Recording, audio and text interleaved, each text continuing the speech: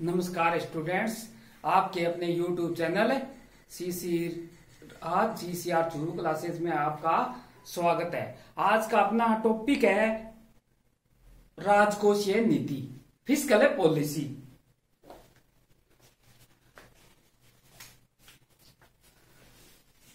सार्वजनिक वित्त, यानी पब्लिक फाइनेंस के अध्ययन में राजकोषीय नीति फ़िज़िकल पॉलिसी का सर्वाधिक महत्व माना गया है वस्तुतः यह बजट संबंधी नीति होती है। किससे संबंधी नीति होती है? बजट।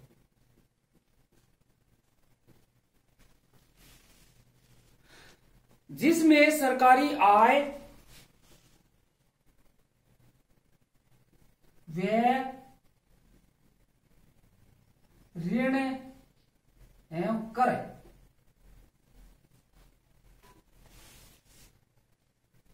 यानी सरकारी आय, खर्च सरकारी सरकारी उधार आदि का विवेचन होता है।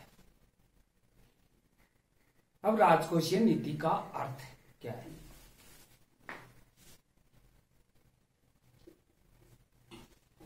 राजकोषीय नीति। सेमुलसन और नोर्टाउस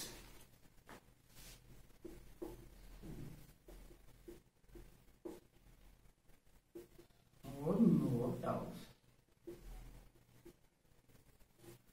इन्होंने राजकोषीय नीति के संबंध में लिखा कि अधिक सुनिश्चित रूप से राजकोषीय नीति से आशय यह है कि यह कर व सार्वजनिक खर्चे इस प्रकार से निर्धारित किए जाते हैं, यानी इसमें राजकोषीय नीति में इस प्रकार निर्धारित किए जाते हैं कि व्यापार चक्र, यानी ट्रेड साइकिल के उतार चढ़ाव को कम करने में मदद कर सके। तथा बढ़ती हुई उच्च रोज़गार वाली अर्थव्यवस्था को कायम रखा जा सके। यानी ये इसके लक्ष्य इसमें निर्धारित है।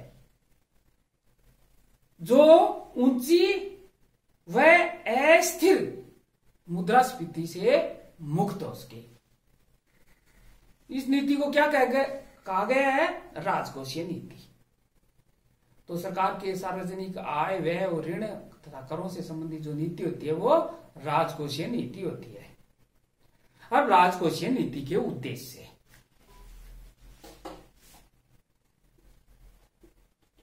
उद्देश्य ऑब्जेक्टिव ऑफ़ फ़िज़िकल पॉलिसी राजकोषीय नीति के अंतर्गत है कराधान, यानी टैक्सेशन सरकारी खर्च एक्सपेंडिचर सरकारी उधार आदि आते हैं। क्या आते हैं? कराधान खर्च और उधार। यानी सरकार इनके माध्यम से जो नीति निर्धारित कर, जो इनसे संबंधित जो नीति होती है, वो राजकोषीय नीति कहलाती है। जो मौद्रिक नीति मौद्रिक नीति तो आरबीआई जारी करता है, या आरबीआई के द्वारा, और राजकोषीय नीति सरकार द्वारा। राजकोषीय नीति के अंतर्गत कराधान, सरकारी खर्चे, सरकारी हैं इसका उपयोग करे सरकार नए कई उद्देश्यों की प्राप्ति में, यानी इन अस्त्रों का उपयोग करे, इन अस्त्रों का उपयोग करे सकती है।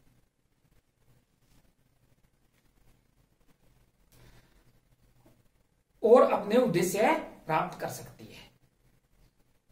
इन स्तरों का उपयोग कर कर सरकार अपने उद्देश्य प्राप्त कर सकती है। तो सरकार के क्या उद्देश्य होते हैं? जो इन स्तरों के माध्यम से प्राप्त किए जाते हैं। उसमें पहला होता है आर्थिक विकास। या आर्थिक वृद्धि। और फ़िज़िकल पॉलिसी। फ़िज़िकल पॉलिसी के माध्यम से आर्थिक वृद्धि इकोनॉमिक ग्रोथ कैसे बढ़ोतरी की जाए?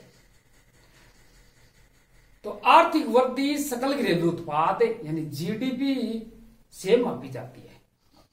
आर्थिक वृद्धि किसे मापी जाती है? जीडीपी से। जीडीपी से मापी जाती है। राजकोषीय नीति का विकासशील एवं विकसित दोनों प्रकार की अर्थव्यवस्था में या दोनों प्रकार की अर्थव्यवस्थाओं में महत्व माना गया है इसका। किसका? राजकोषीय नीति का विकासशील एवं विकसित दोनों प्रकार की अर्थव्यवस्थाओं में महत्व माना गया है। H D model Harrod Domar model में बचत दरें वह वर्तमान पूंजी उत्पाद अनुपात है। बचत दरें वह वर्तमान पूंजी उत्पाद अनुपात, यानी आई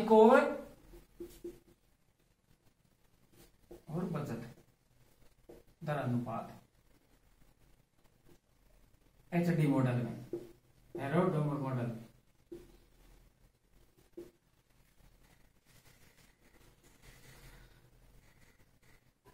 यानी इनका उपयोग करें, वृद्धि की जा सकती है।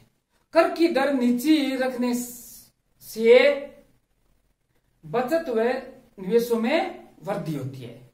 जिससे विकास पर अनुकूल प्रभाव पड़ता है विकास बढ़ता है। सरकार कर्ज लेकर भी आर्थिक विकास कर सकती है। तो सर, एक तो सरकारी खर्च यानी सरकार कर्ज लेकर है दूसरे देशों से या जनता से लेकर आर्थिक विकास कर सकती है और कर की दर नीची यानी कर ये भी हो गया उपकरण स्तर। फ़िज़िकल पॉलिसी का। तो इनके माध्यम से सरकार आर्थिक वृद्धि करती है। आर्थिक वृद्धि। दूसरा, आर्थिक समानता। इसका प्रमुख उद्देश्य आर्थिक समानता। इकोनॉमिक इक्विलिटी फ़िज़िकल पॉलिसी या राजकोषीय नीति समावेशी व समता। के विकास पर बल देती है। यानी सबका समान विकास हो। इसका लाभ समाज के सभी वर्गों को मिलता है। आर्थिक व आमदनी की असमानता को दूर करने के लिए, यानी समाज में जब असमानता बढ़ जाती है तो इसको दूर करने के लिए सरकार है, कराधान है। यानी कराधान व्यय सार्वजनिक व्यय यानी एक्सपेंडिचर दोनों का उपयोग किया जाता है। इसके लिए प्रगतिशील कर प्रणाली प्रोग्रेसिव टैक्स सिस्टम अपनाया जाता है। प्रोग्रेसिव टैक्स में क्या होता है? इसमें, या इसके अनुसार आय बढ़ते जाने पर कर की दरें बढ़ती जाती है। जैसे जैसे लोगों की आमदनी बढ़ती है और कर की दर भी बढ़ाई जाती है। तो कर का इसमें मुख्य योगदान है। कर और आय की असमानताओं को कम करने के लिए, यानी समाज में असमानता इसको कम करने के लिए सरकार सार्वजनिक व्यय की व्यवस्था भी करती है। सरकार व्यय करती है। जैसे गरीब लोगों को मुफ़्त में अनाज देना, शिक्षा देना स्वास्थ्य, पेयजल, आवास आदि की व्यवस्था सरकार सार्वजनिक खर्च करके करती है और समाज में असमानता को दूर करती है और आर्थिक समानता बनी रहती है। तो टैक्स एवं सार्वजनिक व्यय के माध्यम से समाज में आर्थिक समानता होती है। दूसरा इसका प्रमुख उद्देश्य है। तीसरा, इसका प्रमुख उद्देश्य क्या है? रोज, रोज़गार देना। रोज़गार देना। एम्प्लॉयमेंट सार्वजनिक व्यय में वृद्धि करके मांग को बढ़ाया जाता है। सार्वजनिक व्यय सरकार अगर सर, व्यय बढ़ा देती है तो सर सार्वजनिक व्यय में वृद्धि होती है तो इससे मांग बढ़ती है और मांग बढ़ने से रोज़गार बढ़ता है। किस ने उन्नीस की महामंदी में सार्वजनिक व्यय करने का समर्थन किया था? किसने 1930 की महामंदी के दौरान जो बेरोजगारी फैल गई थी उसको दूर करने के लिए सरकार सार्वजनिक व्यय करे। भारत में महानरेगा कार्यक्रम जो 2006 से शुरू है, एक फ्लैगशिप कार्यक्रम है। इसके अंतर्गत सरकार प्रतिवर्ष अत्यधिक धनराशि खर्च करती है महानरेगा के अंतर्गत, तथा लोगों को रोज़गार मुहैया कराती है, सार्वजनिक व्यय के माध्यम से। जनाधिक्य वाले विकासशील देशों में लघु उद्योगों को करों में राहत देकर उन्हें प्रोत्साहित करके रोज़गार सर्जित किए जाते हैं। तो सार्वजनिक व्यय और कर, जो राजकोषीय नीति के उपकरण है, रोज़गार बढ़ाने में महत्वपूर्ण भूमिका निभाते हैं। चौथा इसका उद्देश्य है आर्थिक स्त्रीकरण। आर्थिक स्त्रीकरण।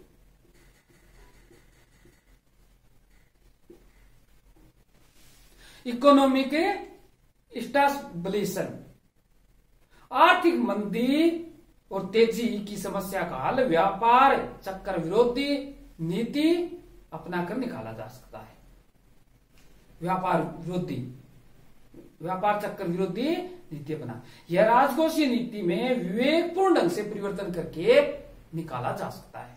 यह विवेकपूर्ण राजकोषीय नीति कहलाती है। इसका से यह है, विवेकपूर्ण राजकोषीय नीति का कि इसमें सरकार आवश्यकता अनुसार कराधान व सरकारी खर्च में परिवर्तन करके मंदी की स्थिति से समग्र मांग बढ़ाने में महत्वपूर्ण भूमिका निभाती है करों में कमी सार्वजनिक करों में कमी करके सार्वजनिक व्यय होते हैं उसमें अनुत्पादक व्यय वह अनावश्यक खर्चे या अनावश्यक सब्सिडी पर किए जाने वाले व्यय को कंट्रोल करके आर्थिक स्थिरीकरण प्राप्त किया जा सकता है आर्थिक स्थिरता प्राप्त की जा सकती है सरकारी खर्च एवं कराधान के माध्यम से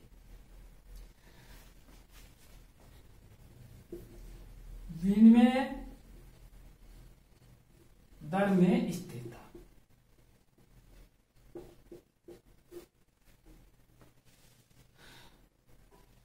राजकोषीय नीति के माध्यम से सरकार द्वारा विनिमय दर को स्थिर किया जाता है। जब एक देश में के वस्तुओं और सेवाओं के आयात की राशि, यानी एक देश में वस्तुओं और सेवाओं की आयात की राशि और उसके निर्यात की राशियों वह हस्तांतरण भुगतानों से अधिक होती है तो उस स्थिति को चालू खाते का घाटा या कैड कहा जाता है। कैड कहा जाता है। करंट अकाउंट डिफिशियट चालू खाते का घाटा। जब सरकार की इसमें कैसे होता है, आयात ज़्यादा हो जाते हैं और निर्यात कम हो जाते हैं तो इसे चालू खाते का घाटा हो जाता है। जो कैड, दो हज़ार बारह तेरह जीडीपी का चार पॉइंट दो प्रतिशत हो गया था, जो लगातार बढ़ता जा रहा है। यानी भारत का कैड लगातार है तीस वर्षों से ऋणात्मक चल रहा है। इसमें भी राजकोषीय नीति की महत्वपूर्ण भूमिका इसको कम करने कैसे? व्यापार घाटा कम करने के लिए आयात शुल्क बढ़ाए। निर्यात शुल्क घटाकर आयात तो आयात शुल्क को बढ़ाया जाए और निर्यात शुल्क को घटाकर या कम किया जाए तो विनिमय दर स्थिरता प्राप्त की जा सकती है। करंट अकाउंट डिफिशियट को कंट्रोल में किया जा सकता है। तो आज हमने पढ़ा राजकोषीय नीति का अर्थ एवं इसके उद्देश्य। आपने सुना, इसके लिए आपको धन्यवाद।